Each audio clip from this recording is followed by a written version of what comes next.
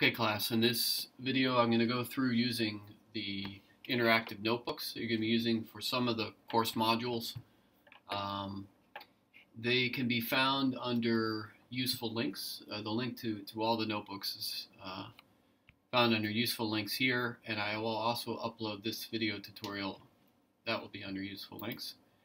Um, here when, when it's complete. So under is using Jupyter Interactive Notebooks, and these um, interactive notebooks, uh, I think it's best explained in a demonstration. So um, it says links to notebooks on Binder, right here. So Binder is a, a website. Binder is like a three-ring binder. Binder is a website that allows um, people like me to make a, an interactive notebook that I store in GitHub um, and then Binder allows people to access um, that notebook and work with it interactively. And essentially, what happens on Binder is I build the environment to run the notebook using Docker. Actually, Binder builds the environment using Docker, launches it on a server like Google servers, um, servers, and then when you run the Binder web page, it's actually uh, running that particular notebook um, from that server. So it's free at the moment. I don't exactly know why or how, but um, we'll be using this uh, for the time being. So link to notebooks on Binder right here. Click on this. Okay, this is going to launch uh, my repository. Um, this can take 10 seconds up to a minute. Um, it depends how many changes I've made in the notebook. So essentially, it's, re it's rebuilding the environment. Um, if I've added new depend, uh, dependencies, it might take a little bit longer. If I have only made edited the notebook, say changed a sentence or something, it will it will, it will launch more quickly. And this shows essentially is a reflection of my GitHub project page. Um, the README I failed to put anything useful in there, but environment.yml is the file that Binder uses to build um, the Docker um, environment for um, the interactive notebook. And basically, it's the, the dependencies, um, code dependencies from the notebook. For example, I'm using Python, so I have NumPy in there um, and some other modules that I'm including.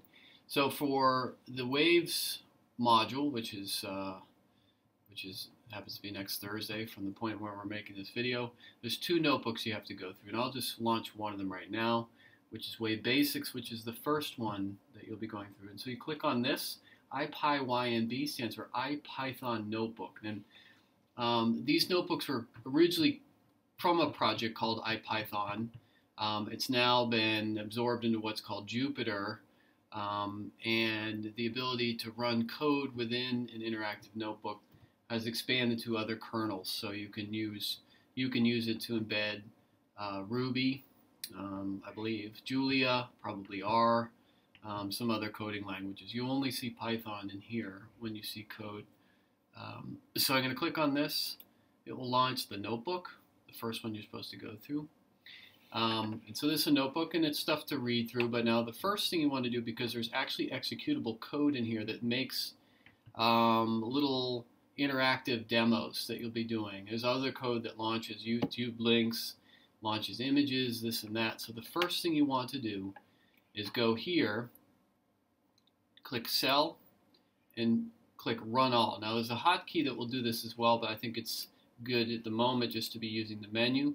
Cell Run All, so it's going to run all these code blocks. I'll just give you an example one. There's one right here. There's a code block right here. This is a piece of Python code. Don't worry if you're not familiar with Python code, but it should look like other languages you've seen. And it does some stuff here. It just plots a simple harmonic function. It happens to plot the sine function.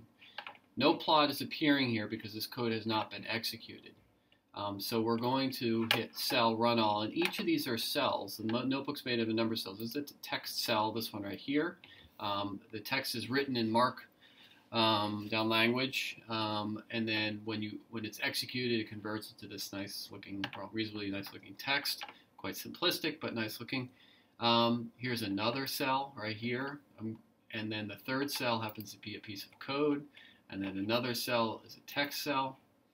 Um, and so I want to execute all these cells. So I'm going to go cell, run all. Now over here, you'll see, if you see the mouse, is a little, actually ran very quickly, but This will turn dark for a second while it's running, and it comes back um, to uh, being um, uh, light again. And so I'm going to rerun it twice. Occasionally, sometimes one of the cells won't run. I don't know exactly why. So I, am going to do a run all twice, just to be sure. Um, and if you see something missing, you can execute an individual cell by clicking on the cell and just hitting run right here, and it will run the code in the cell. So this figure was already produced by this code block, so it's sitting there. Um, but this allows me to also make changes, and I'll give an example of that in a second, and rerun the code. Um, so you read through, oops, I'm already at the bottom, I did not realize that, I apologize. So what you're going to do is this is a learning exercise. So you're going to be reading through the notebook from top to bottom. Um, the top just gives you a background on how the notebooks are supposed to operate and, and is sort of a summary of what's in this particular notebook. Um, this one's about waves. It's a very general notebook about waves and how we model them mathematically. Um, different types of waves are described here. The notebook will co contain links. Um, for example, here I was talking about Mar Marconi's radio wave transmitter. I can see it's spelled wrong here. In Wellfleet, and I click on this, it'll open up a new page. Um, if you're interested in reading about Marconi's little rig here, pretty amazing. This was up in Wellfleet, the original wireless array, and this is a spark gap transmitter. So it was generating these huge, very loud sparks for the neighbors. Um, but the sparks induce radio waves, and that's what he was transmitting to Nova Scotia. Uh, anyway, so that some links open here. Here's some links to some YouTube videos right here. Um, so that's uh, as you go through your reading, there's some links to look at. Um, generally, I won't put any long videos. These, all, these will all be a minute or two, most of these videos. Then we go into this next section talking about surface gravity waves here. Um, you'll see some math in here. And there's some questions and interactive exercises. And as described at the top, these aren't required, but these are helpful just things to sort of ponder. For example, which function, cosine or sine, is symmetric? Um, is something is a question here. I define what it means but to be symmetric, and you can think about which function um, has that property. Here's an interactive exercise, also optional, but something you could try.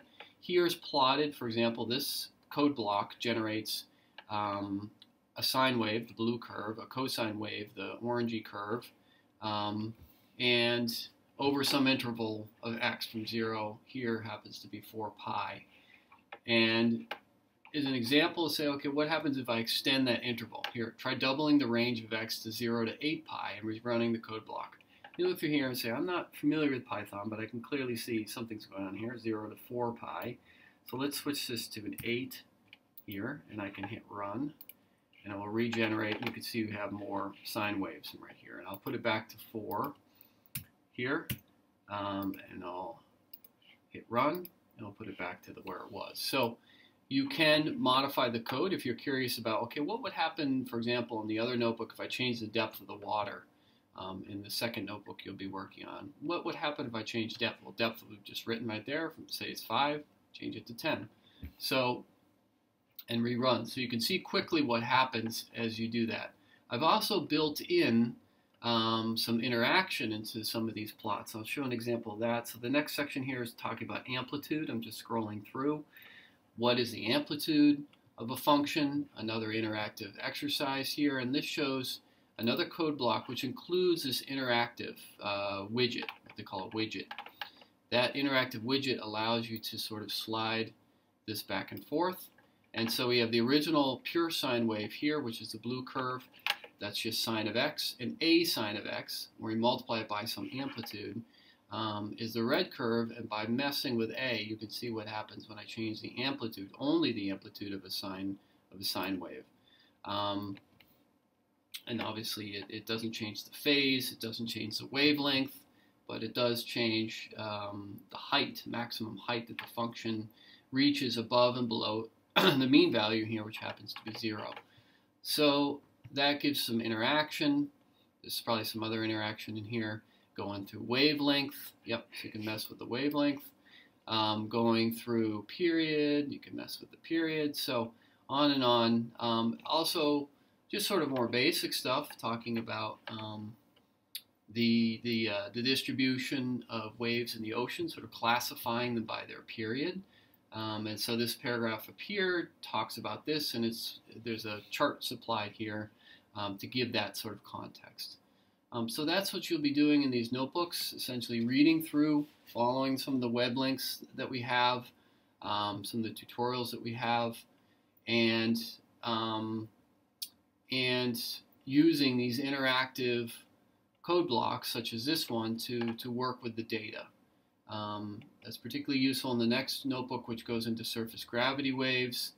Um, here, this tool here has two um, interactive sliders right here to mess around with the, the, the phase and, and um, period of the waves, and and then talking some images talking about some more complex waveforms. Again, here's another wiki page, which will bring up uh, the sinusoidal waves in the wiki page. I don't think I have any videos embedded in here that I know of. Um, I will mark sections that I feel are optional as optional.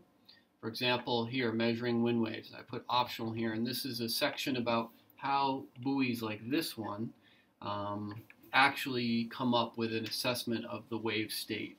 And so it gets into linking, linking accelerations, which buoys can measure fairly easily, to uh, measuring position. Um, and so this goes into a little bit of math about that. Um, but I did put optional here because I felt that well, that was not a necessary uh, thing for you to learn. So that's the end of this. That's this notebook. You'll go through that. Um, when you're done with a notebook, what you're going to do is you don't need to save it because you haven't made any permanent changes to it. You won't, even if you augment the code, it doesn't affect anything in my Git account. Um, you're going to sit, you're going to hit File, Close and Halt, um, and that will exit the notebook. Um, if you have a second notebook to look at, for example, in the, the preparation for waves, there are two notebooks. There's Wave Basics, which goes through this little math function, and there's more specifically a notebook on surface gravity waves, which will open here. And this goes, says, okay, surface gravity waves are a particular kind of wave with a particular restoring force. It adds a new variable, which is the water depth, which is uh, part of the waves. But otherwise, the notebook's a similar sort of format. Some text to read, there's some links if you're interested, um, and there's some interaction, interactive, let me find an interactive, oh, you know what I forgot to do? I forgot to run it. So again, when you open the notebook, run all. This one will run a little longer because it has some more serious functions to plot.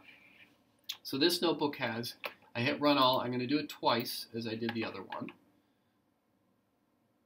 Okay, so this one has some embedded videos. Here's one about wave refraction. So I have a section in the notebook about refraction, talking a bit about refraction. And then there's a beautifully done YouTube video, um, I think from, um, I believe, S, I forget what school this is from, but um, from YouTube. So I've, I've embedded that in here. So you watch that video in a few minutes. There's a nice video by the same professor on longshore um, drift. Uh, and so you'll be watching that as well. This notebook also contains some interactive um, some interactive uh, code blocks here, plotting, the, for example, the velocity below um, the velocity below a wave, where you can adjust the wavelength. You can play here the velocity field, the motion, the velocity field. I'm not sure how this is going to show on this recording because I'm not recording at a very high frequency. Um, and so you can see the spinning of the waves. If you click this, it goes into continuous motion. Again, it may be jumpy in the video I'm recording. And then um, uh, so you have interactive notebooks like that, some questions you to think about. This shows the uh, velocity and pressure field below wave, etc., etc. So I'm going backwards here, but you want to move forwards from the top of the notebook and down and work your way through the examples, the code blocks, read the text, and the embedded YouTube videos. When you're done with this notebook, you hit File, Close and Halt, and you're done. And once you're, you're back to your main notebook page here that got launched from the My Courses link, um, and you're going to hit Quit, and it should tell you something about um, you shut down Jupyter. You can now close this tab to use Jupyter again. You'll need to relaunch it. And so that just tells you it's safe to kill the tab. And at this point, I'm going to kill the tab. You may get something popping up saying something like you have unsaved changes. If you happen to change a code block, um, you could just say, okay, you know you have unsaved changes. Okay, so server stop. I'm going to close the tab, and we're done.